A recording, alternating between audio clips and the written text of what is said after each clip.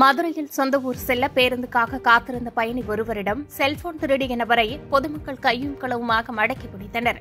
மதுரை மாவட்டம் சேடப்பட்டியைச் சேர்ந்தவர் காக்கி.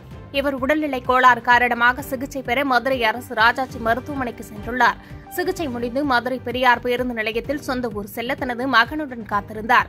அப்போது அங்கிருந்த பேருந்து குன்றில் ஏற முயன்றபோது காக்கி அவரின் சட்டை பாக்கெட்டில் இருந்த செல்போனை திருடிக் கொண்டு அங்கிருந்த நபர் ஒருவர் ஓட்டம் பிடித்துள்ளார். இதைத் தொடர்ந்து பொதுமக்கள் செல்போன் திருட்டில் ஈடுபட்டு தப்பி ஓட முயன்ற நபரை மடக்கி பிடித்து அருகில் உள்ள காவல் நிலையத்தில் ஒப்படைத்தனர். போலீசாரின் விசாரணையில் அந்த நபர் மதுரை மதுரை அலங்காநல்லூர் பகுதியைச் சேர்ந்த உதயசெல்வம் என்பது தெரியவந்தது. மேலும் அவர் திருடிய செல்போனை விசாரணைக்கு பிறகு காவல்துறையினர் உரியவரிடம் ஒப்படைத்த நிலையில் செல்போன் திருடிய நபரை காவல்துறையினர் கைது செய்து சிறையில் அடைத்தனர்.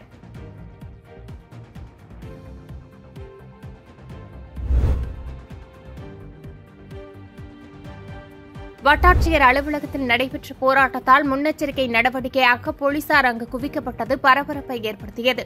புதுக்கோட்டை மாவட்டம் கரம்பக்குடி அருகே கரு வடத்தெரு ஊராட்சிக்குட்பட்ட வடக்கு கன்னியான் கொள்ளை நத்தம் புறம்போக்கு இடத்தில் நூறு ஆண்டுகளுக்கு மேல் குடியிருந்து வரும் சலவை தொழிலாளி தச்சு தொழிலாளி குடியிருக்கும் இடத்தையும் புனித சந்தியாகப்பர் தேவாலயத்திற்கு செல்லும் சாலையையும் தனிநபருக்கு பட்டா வழங்கிய வட்டாட்சியரை கண்டித்து கரம்பக்குடி வட்டாட்சியர் அலுவலகத்தில் சலவை தொழிலாளிகள் மற்றும் தச்சு தொழிலாளிகள் கிராம மக்கள் இருநூறுக்கும் மேற்பட்டோர் இந்திய கம்யூனிஸ்ட் கட்சியினருடன் காத்திருப்பு போராட்டத்தில் ஈடுபட்டனர். இதனால் பரபரப்பு நிலவியதைத் தொடர்ந்து வட்டாட்சியர் அலுவலகத்தில் போலீசார் குவிக்கப்பட்டது பரபரப்பை ஏற்படுத்தியது.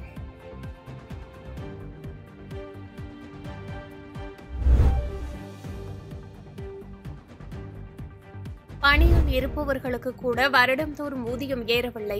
ஆனால் திமுக ஆட்சியில் வருடம்தோறும் மின்கட்டணம் உயர்த்தப்படுவதாக அதிமுக தொழில்நுட்ப பிரிவு மாநில தலைவர் சிங்கை ராமச்சந்திரன் குற்றம் சாட்டியுள்ளார். திமுக ஆட்சியில் தமிழ்நாட்டில் மின்கட்டண உயர்வை கண்டித்து விருதுநகர் மாவட்டம் அருப்புக்கோட்டை துணை மின் நிலையம் எதிரே விருதுநகர் கிழக்கு மாவட்ட அதிமுக சார்பில் மாவட்ட செயலாளர் ரவிச்சந்திரன் தலைமையில் கண்டன ஆர்ப்பாட்டம் நடைபெற்றது. இந்த ஆர்ப்பாட்டத்தில் அதிமுக தொழில்நுட்ப பிரிவு மாநில தலைவர் சிங்கை ராமச்சந்திரன் கலந்து கொண்டு கண்டன உரை நிகழ்த்தினார். அப்போது பேசிய அவர் வேலை பார்ப்பவர்களுக்கு கூட வருடம்தோறும் ஊதியம் ஏறவில்லை. ஆனால் திமுக ஆட்சியில் வருடம்தோறும் மின்கட்டணம் உயர்த்தப்படுவதாக அதிமுக தொழில்நுட்ப பிரிவு மாநில தலைவர் சிங்கை ராமச்சந்திரன் குற்றம் சாட்டியுள்ளார்.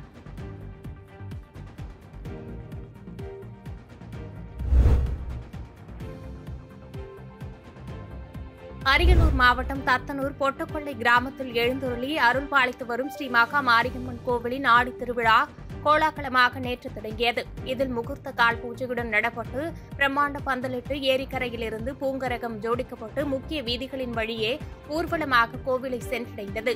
பின்னர் அம்மனுக்கு படையிலிட்டு வழிபட்டனர். பதினாறு நாட்கள் நடைபெறும் இந்த திருவிழாவானது ஊர் பொதுமக்கள் மற்றும் வகையராக்களின் மண்டகப்படி விழா பதினைந்து நாட்கள் நடைபெறும். விழாவின் தொடக்க நாளான நேற்று ஆயிரக்கணக்கான பக்தர்கள் கலந்து கொண்டு ஸ்ரீ மகா மாரியம்மனை தரிசனம் செய்தனர்.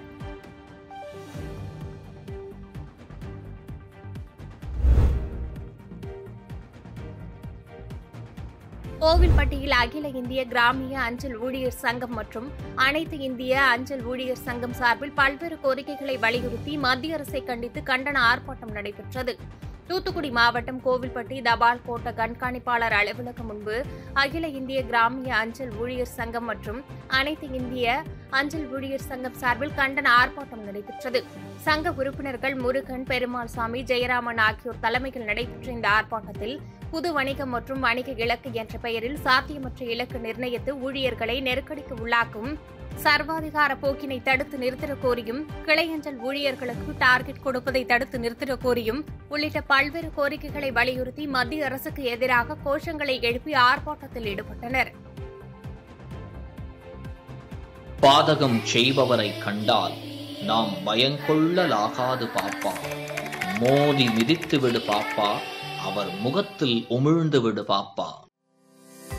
அண்மை செய்திகளை உடனுக்குடன் தெரிந்து கொள்ள இணைந்திருங்கள் இயம்நாடு தொலைக்காட்சியுடன்.